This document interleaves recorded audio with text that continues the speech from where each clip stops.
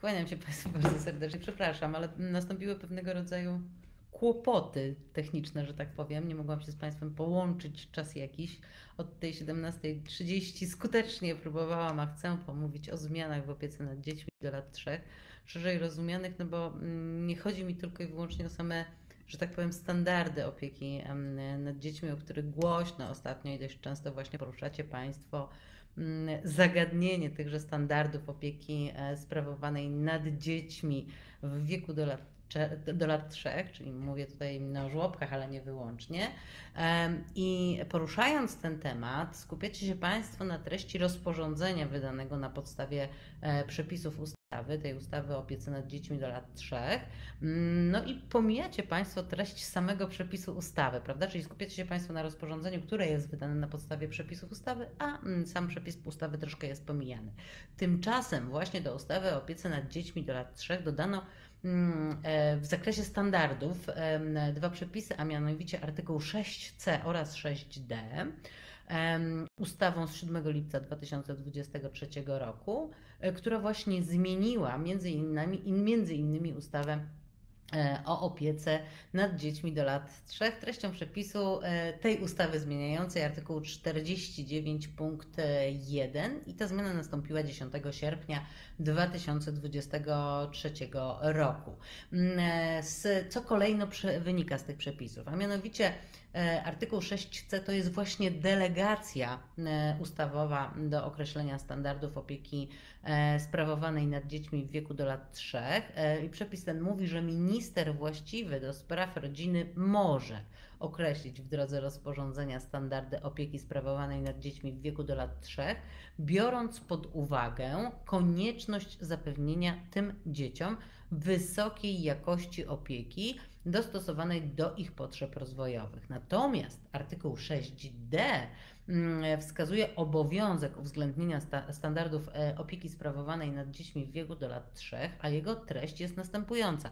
Podmiot prowadzący żłobek lub klub dziecięcy i podmiot zatrudniający dziennego opiekuna oraz sam dzienny opiekun prowadzący działalność na własny rachunek, organizując opiekę nad dziećmi w wieku do lat 3, mogą uwzględnić standardy opieki określone w przepisach wydanych na podstawie artykułu 6c. E, w związku z czym, jak Państwo widzicie, treść samych przepisów jest tutaj ustawy niezwykle istotna. E, no i na podstawie upoważnienia wyrażonego w ustawie minister rodziny i polityki społecznej wydał to rozporządzenie, czyli mógł i wydał z 19 września 2023 roku, właśnie w sprawie standardów opieki sprawowanej nad dziećmi w wieku do lat 3.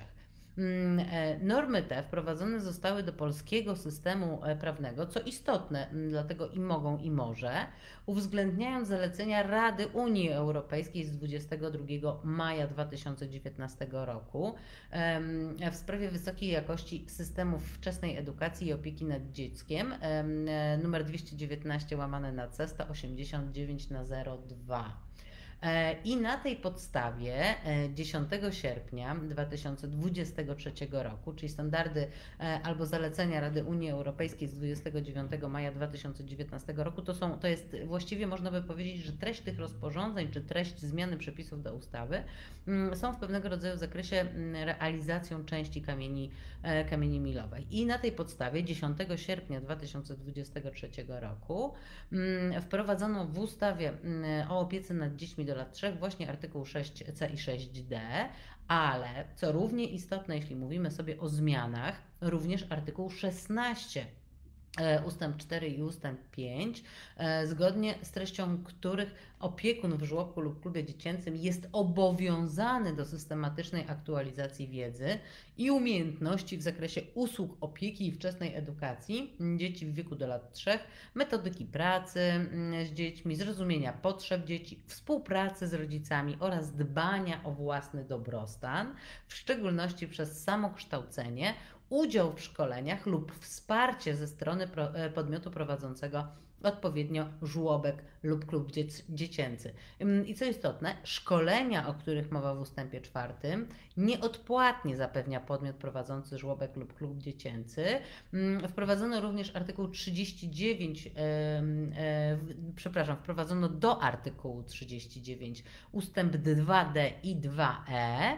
E, w tymże zakresie, tyle że odnoszący się do takiego samego obowiązku kierowanego do opiekuna dziennego ze wskazaniem, że szkolenia, e, o których mowa, dziennym opiekunom zatrudnionym e, przez podmiot, o którym mowa w artykule 8 ust. 1 ustawy oczywiście o opiece nad dziećmi do lat 3, nieodpłatnie zapewniają właśnie te podmioty. Na podstawie tychże przepisów e, wprowadzono również artykuł 64, przepraszam, znowu ponownie do artykułu 64 do ustępu 4 tego, tego przepisu, punkt 12 i 13, który z kolei rozszerza zakres danych zbieranych w sprawozdaniach e, zbiorczych dotyczących opieki nad dziećmi w wieku do lat 3 o kwestie związane z wynagrodzeniami i kompetencjami opiekunów. I tu mi się wydaje, że to już nie jest spełnienie, e, spełnianie kamieni, kamieni, milowych, tyle tylko, że tutaj jest pewnego rodzaju mm, no, chęć pozyskiwania od państwa jak największego zakresu e, informacji, bowiem sprawozdania te mają zawierać informacje o wysokości wynagrodzeń w żłobku lub klubie dziecięcym osób zatrudnionych na stanowisku opiekuna lub sprawujących opiekę jako dzienny opiekun i informacje o kwalifikacjach osób zatrudnionych w żłobku lub klubie dziecięcym na stanowisku opiekuna lub sprawujących opiekę jako dzienny opiekun. Mm, I pierwsze mm, takie dane będziecie Państwo wprowadzali do sprawozdań za rok 2024. 25 e, września, no, o ile ustawa w tym zakresie zmieniona nie zostanie. 25 mm, września natomiast 2023 roku opublikowane zostało rozporządzenie ministra rodziny i polityki społecznej e, z 8 września zmieniające rozporządzenie w sprawie zakresu programów szkoleń mm, dla opiekuna w żłobku w klubie dziecięcym oraz dziennego opiekuna, który aktualizuje zakres programów i szkoleń. I to, co nas dziś interesuje, no to oczywiście rozporządzenie ministra rodziny i polityki społecznej opublikowane 4 października 2023 roku z 19 września 2023 roku w sprawie standardów właśnie opieki sprawowanej nad dziećmi w wieku do lat 3, które wprowadza mm, te właśnie ogólnopolskie ramy jakości opieki i edukacji. I standardy opieki dotyczą no, mm, pracy z dzieckiem, to oczywiście, zgodnie z rozporządzeniem, bezpieczeństwa dzieci, organizacji pracy i rozwoju bezpieczeństwa odpowiednio personelu zatrudnionego w żłobku, w klubie dziecięcym lub dziennego opiekuna, monitoringu i ewaluacji i współpracy osób sprawujących opiekę z rodzicami. Czyli mamy takie pięć takich e, pól poruszania się. Zwracam mm, tutaj w tym miejscu Państwu uwagę. I o tych też standardach będziemy mówili jutro w trakcie szkolenia kierowanego właśnie do instytucji opieki nad dziećmi do lat trzech, niesamorządowych instytucji opieki nad dziećmi do lat trzech, e, w sprawie tychże, że większość standardów, e, jak analizujemy Państwa dokumenty, czy to regulaminy, czy różnego rodzaju statuty, czy dokumenty takie organizacyjne państwa, państwa instytucji, że w większości, w przeważającej większości macie już Państwo do tychże właśnie dokumentów te standardy e, wprowadzone. Natomiast polem, e, które mm, wymaga z Państwa strony, jak się wydaje na podstawie analizy tych dokumentów, które, które dokonujemy, jak Państwo tam sprawdzamy, zmieniamy, dopisujemy, prawda, analizujemy, mm, to większego z Państwa strony zdecydowanie zainteresowania mm, wymagają różnego rodzaju procedury, e, postępowania w przypadku podejrzenia stosowania przemocy wobec e, dziecka przez rodziców lub osoby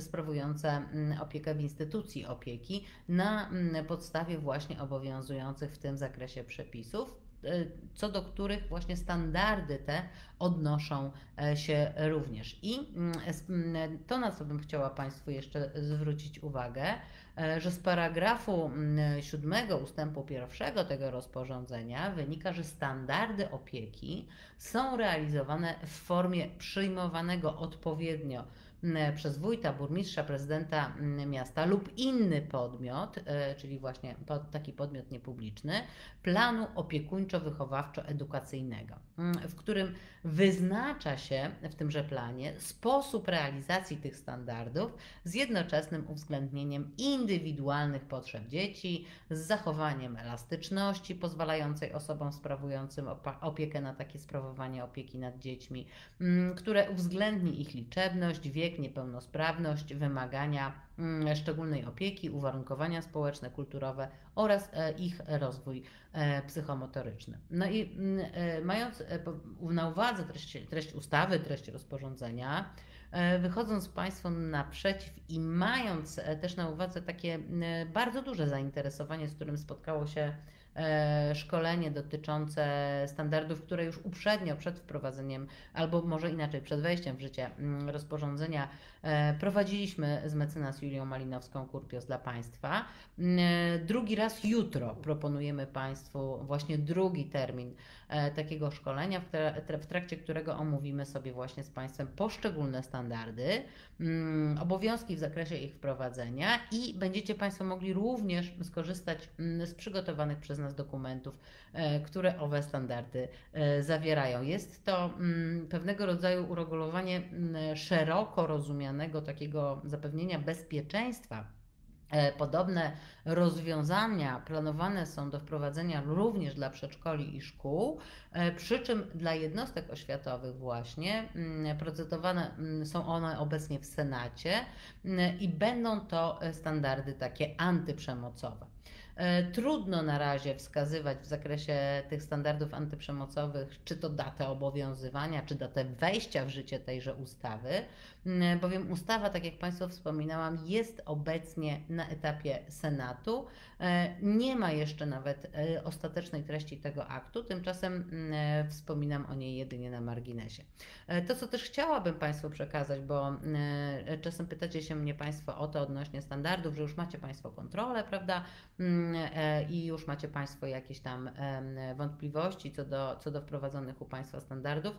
No, chodzi o to, żebyście się Państwo nieszczególnie mm, tym, na tym etapie może martwili, e, czy, czy przejmowali, że nie macie Państwo tego konkretnego dokumentu, bo tak jak Państwo wskazuje, mm, większość, większość wprowadzonych tym rozporządzeniem standardów już Państwo macie, prawda? Więc jakby wychodzicie Państwo naprzeciw albo jesteście pierwsi w tym zakresie od ustawodawcy. Jedyne to, nad czym warto e, właśnie e, bardziej popracować, no to, e, to jest kwestia jakiegoś zwrócenia uwagi na wprowadzenie jakichś takich standardów, które mm, no, dotyczyłyby procedur postępowania przypadku właśnie e, podejrzenia stosowania e, przemocy wobec dziecka przez rodziców lub osoby sprawujące opiekę w instytucji opieki na podstawie właśnie e, przepisów.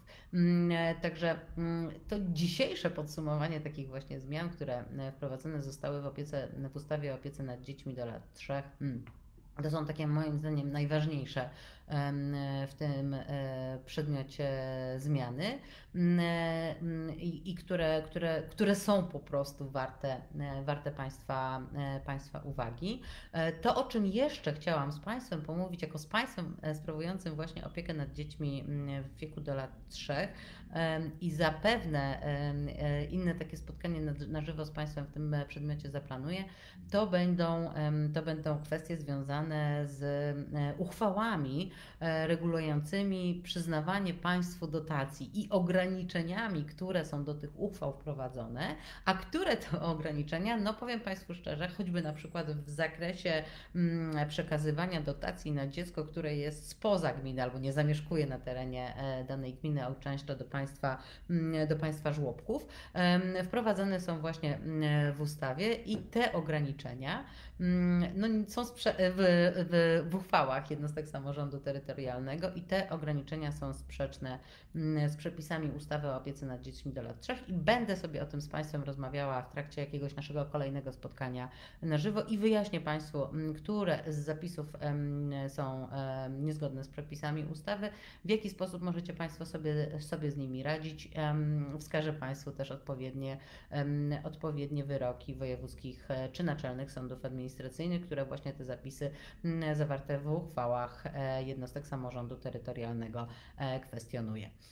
Droga Pani, szkolenie odbędzie się jutro, tak? Czwartek? Przepraszam, bo trudny tydzień, przynajmniej tutaj dla nas taki i rozjazdowy można by powiedzieć trochę, ale wydaje mi się, że tak, że to, że to ma nastąpić, że dzisiaj, co dzisiaj jest? Dzisiaj środa, tak? Jeśli środa, to jutro w takim razie.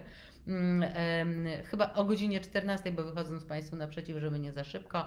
To szkolenie ostatnie które prowadziliśmy. Państwo zadawaliście dość dużo pytań, w związku z czym my tam na te pytania Państwu odpowiadaliśmy, bo jak Państwo się nas pytacie, ile będzie trwało szkolenie, no to my mamy jakieś założenie, powiedzmy tam dwie godziny, dwie i pół godziny, prawda? Ale ono może się przedłużyć i ono się przedłuża wtedy, kiedy, e, kiedy właśnie odpowiadamy na, na pytania. Im więcej pytań, tym szkolenie trwa dłużej, no ale te dwie godziny proszę, żebyście Państwo byli uprzejmi mm, e, sobie w swoim kalendarzu na to szkolenie zabezpieczyć. I też będziemy odpowiadali na pytania z zakresu mm, tego, o czym dziś do Państwa mówiłam, z tych zmian, prawda, z tych szkoleń, e, takie, tego, typu, tego typu elementy sobie e, na tym szkoleniu poruszymy, żebyście Państwo sobie wyszli e, z wiedzą, która, która będzie Państwa satysfakcjonowała. Będzie mi oczywiście bardzo miło, jak udostępnicie Państwo dalej to, to nasze dzisiejsze spotkanie. Dobrego wieczoru Państwu życzę.